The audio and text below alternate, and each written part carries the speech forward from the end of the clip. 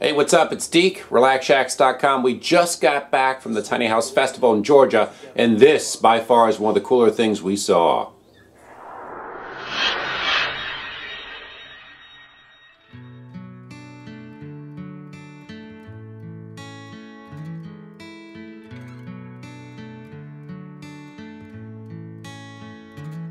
So in the proper Victorian parlor, you always had a piano, but when your guests leave in the practical Victorian parlor, you have a piano bed.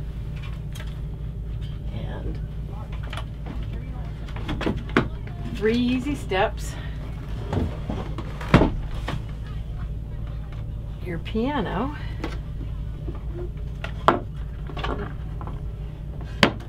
Oops.